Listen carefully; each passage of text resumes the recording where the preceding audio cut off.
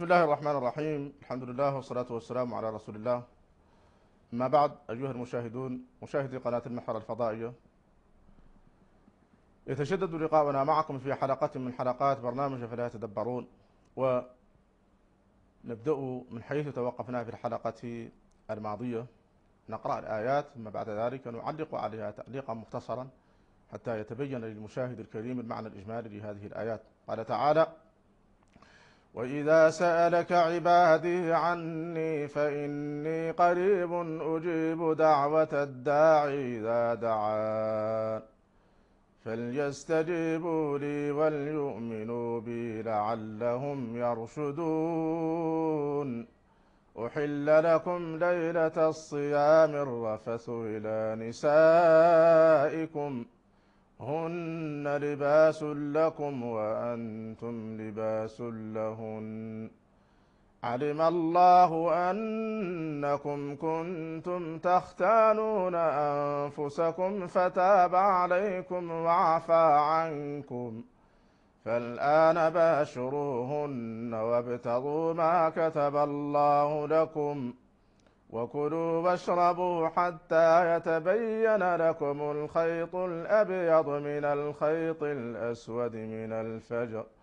ثم أتموا الصيام إلى الليل. ولا تباشروهن وأنتم عاكفون في المساجد. تلك حدود الله فلا تقربوها. كذلك يبين الله آياته للناس لعلهم يتقون. ولا تأكلوا أموالكم بينكم بالباطل وتدلوا بها إلى الحكام لتأكلوا فريقا. وتدلوا بها إلى الحكام لتأكلوا فريقا من أموال الناس بالإثم وأنتم تعلمون. في هذه الآيات وإذا سألك عبادي عني فإني قريب أجيب دعوة الداعي إذا دعان. فسأل جماعة النبي صلى الله عليه وسلم أقريب ربنا فنناجيه أم بعيد؟ فنناديه أقريب ربنا فنناجيه أم بعيد فنناديه ونحن في شهر الصيام شهر الدعاء شهر استجابة الدعاء.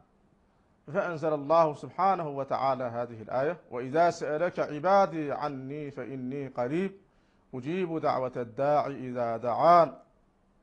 فليستجيبوا لي وليؤمنوا بي لعلهم يرشدون أي يهتدون.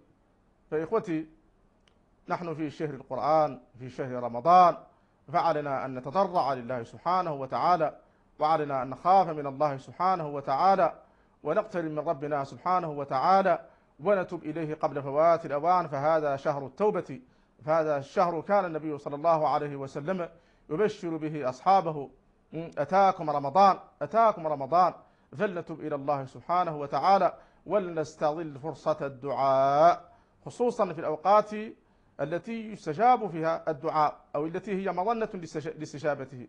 بعد الصلوات المكتوبات وفي شوف الليل الآخر وبين الأذانين وعند السجود أقرب ما يكون عبد من ربه وهو ساجد فلنكسر الدعاء إذا كنا في سجودنا وخصوصا إذا كنا في هذا الشهر الذي هو شهر عظيم عند الله سبحانه وتعالى لأنه أنزل فيه كتابه العزيز. قال تعالى شهر رمضان الذي أنزل فيه القرآن.